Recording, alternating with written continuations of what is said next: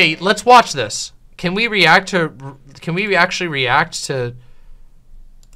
There is broad agreement let's do it. among public health experts in the United States and Europe that you generally should not wash meat before you cook it. Let's find I mean, out. This is let's, le- let's learn together, okay? Let's learn together. I want to find out the truth about washing meat. Hardly the most dangerous thing that you can do in your kitchen, but washing meat probably creates more health hazards than it prevents. It splashes raw meat juice around your kitchen where it can yep. get on your raw food or on your hands. And it sends droplets or aerosols of raw meat goo up into the air where they can enter your body directly. Scientists have done observational studies where they asked people to do what they normally do in the kitchen. Some people washed the meat under the faucet, which is the really bad thing, very splashy. Some people did it in a bowl. People cleaned and sterilized after they were done, but well, here's Shauna Henley at the University of Maryland's Department of Nutrition and Food Science. the current USDA study right now, they're showing that even if you say you clean your sink out, there's still potential for bacteria to hang out in the sink. So if you're washing something else in your sink, you don't know if cross contamination's occurring because it could take as few as 10 bacteria cells to make someone sick based on their health status. See, Any- I've heard I've heard in the past that you don't want to wash meat because of the splashing. But I, I'm interested to find out the rest. Like the splashing alone uh, is interesting. That's the only thing I've ever really known about about washing meat. I never. I, I guess we're gonna find out the rest, but this is very interesting. Germs or parasites on the surface of the meat that you could conceivably wash off are gonna die as soon as you cook it. So don't bother washing it. That is the advice that public health people in the US and Europe have been promulgating in recent years as all this research has been emerging. But a lot of home cooks remain skeptical. This is a very culturally charged issue, and in this video we're going to consider the cultural dimension. Why some people feel particularly strongly about that's washing meat. actually. In fact, these guys and I undertook an original research project on people's meat washing attitudes and practices, the results of which we will present here. And I don't think any of us are proceeding from the assumption that meat washers are just rubes who need to be set straight. People have reasons for doing what they do, and it's not all about germs. The initial public health messaging on this topic was, I think it's fair to say, not very culturally aware. Lucia will never be able to wash off all the bacteria that may be present. You could certainly say as much about some of my prior videos on this topic. Much of the United States Department of Agriculture's public outreach on meat washing came via a digital platform called Ask Karen. Karen was a fictional character created to personify the friendly consumer advice that the USDA provides. And when they rolled her out in 2011, Karen had not yet become what it is today. A pejorative to describe a clueless and entitled white lady, but it kind of fits, right? They have since ditched the character. So, elephant in the room, white people That's amazing. People are less likely to wash their meat than other kinds of people. That is a finding of some research, including our research, and also some done by Shauna Henley. And my dissertation at Drexel University was basically telling people don't wash your chicken. This research involved doing focus groups with people around Philadelphia, where Drexel is. Quite a lot of people of color there, and Henley says the folks she spoke to were very receptive to the scientific message she presented. A couple years later, someone will see me be like, I remember you, you're the chicken girl. I still wash my chicken. But I'm like, at least you know why. And they they laugh and they know too.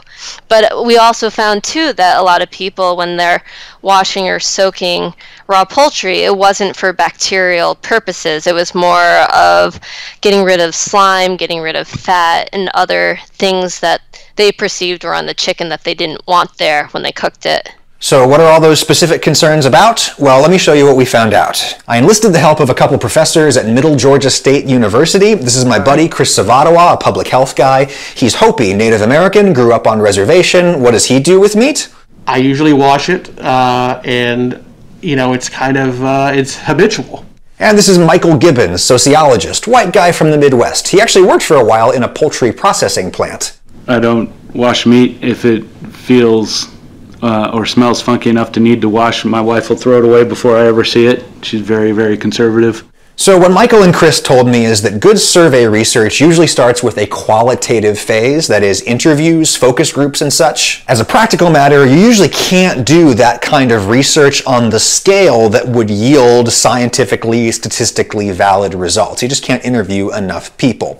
The function of the qual phase of research is to explore the question a little bit and then get ready for the quant phase. That is where you craft an instrument, a survey that you can then put out to a whole lot of people and get statistically significant results. And basically, my qualitative phase was TikTok. I have a strikingly global and diverse audience there, and I got hundreds of comments from people absolutely disgusted by the idea that somebody wouldn't wash their meat. Again, it's very anecdotal, but I was struck by the number of comments I saw from people of, for example, Caribbean and Middle Eastern origin who said that they wash meat to get rid of a raw smell. There's even an Arabic word for that, zencha. Thanks to everybody on Twitter who tried to teach me how to pronounce that. I'm sure I'm still butchering it.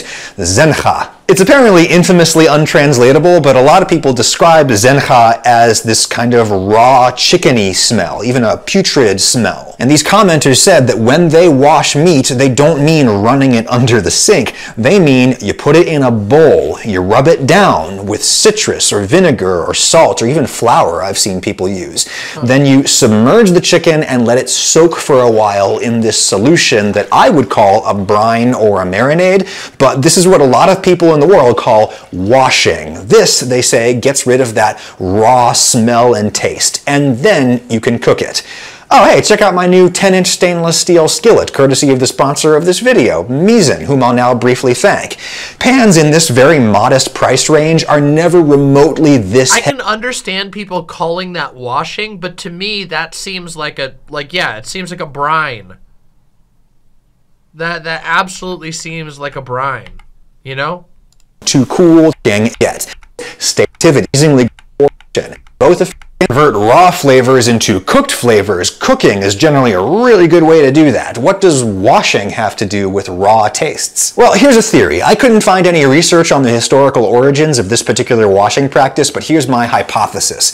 This seems to be particularly popular within cultures originating in particularly hot climates. Meat starts to go bad a lot faster in the heat, which means that in the days prior to refrigeration, people in much of the Middle East or Africa or the Caribbean Caribbean would have been especially likely to be dealing with meat that has a gross smell. And mind you, that smell of spoilage is not necessarily the smell of foodborne illness. You can't smell salmonella, which is part of the reason why it's so dangerous. That Yeah. off smell is from relatively harmless spoilage reactions, oxidation, rancidity, enzymatic breakdown, and the work of less dangerous classes of bacteria like Pseudomonas, which create gross smells, and a ropey slime on the surface of meat as it sits around for a long time and develops it. Things like vinegar and citrus and salt can go a long way toward removing those gross smells, or at least covering them up.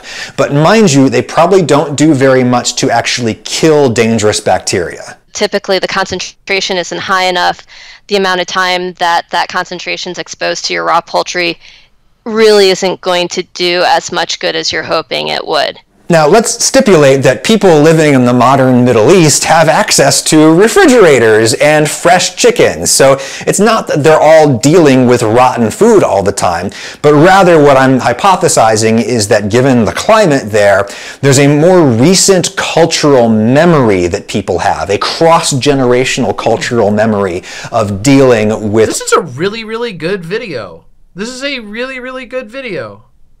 Off smelling or tasting meat. And that memory has resulted in this kind of heightened cultural sensitivity or awareness of even the slightest off smell from a chicken. Just a hypothesis, though indeed, improving palatability is apparently a big motivation among meat washers responding to the survey that I put together with the Middle Georgia State guys. I invited you to fill this out in an earlier video, and boy, a lot of you did. 13,000 respondents was uh, very strong. a lot of the professional work I did, sometimes you'd have three or 500 respondents, and that would be a that would be a good result. so it says something about your your reach, first of all. But of course, the problem with that is that it's not a random sample like you'd normally try to assemble for a scientific think so, study. Finger. We approached it more I don't think that was the one finger, but uh, but but it but it looks fine. Or like market research. You are my customers. And it is therefore not surprising that you are disproportionately like me. White, male, American, and relatively young. Like attracts like. Hardly surprising. However, enough of you filled out this darn thing that what our sample size lacks in randomness, it kind of makes up for in volume. Enough people who are not very much like me at all also filled this thing out that we can learn some interesting stuff people report not washing most meats, and when they do, it's fish and poultry. Um, interestingly enough, we did ask about um, other meats that were washed, and surprisingly, consistently across geographical regions, uh, v- wild game, venison, things like kangaroo, squirrel, organs, uh, and other All right. meats, okay. guinea pig. That makes sense, right? People who are getting game are not dealing with meat that was factory processed and shrink wrapped and delivered to the supermarket hermetically sealed. They're dealing with like things that they may have even butchered themselves, things with like feathers and hair and blood and actual dirt and debris on them that needs to be washed off. Indeed, many of you who responded to the survey said that's what you're trying to remove, not pathogens, but actual dirt, debris, and of course blood. Cultural taboo against eating blood is pretty common. The Torah and the Quran, for example, both explicitly forbid eating blood. However, this is one case where I actually think a lot of people's concerns may be unfounded. I showed this clip on my TikTok and I got tons of comments saying, ew, look at all that blood, but it's not blood.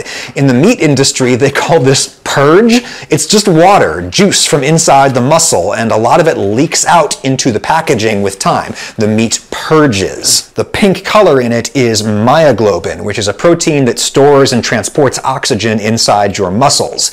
It's not the same thing as hemoglobin, ah. which is what makes blood red. Similar things, but they're just fundamentally different. Meat juice is not blood. And if you've got a problem with eating myoglobin-filled purge, then you've got a problem with eating meat, because this is the liquid that's inside all meat. This is the juice that makes meat juicy, and it's the stuff that comes out during cooking and that you might later convert into a gravy. Anyway, down in the description there's links to all of our anonymized survey results. You can see the Google form responses and this PowerPoint the guys put together. Another interesting finding was an age corollary. So just based on proportionality for 25 year olds to 34 year olds, older people more likely to wash meat than younger people.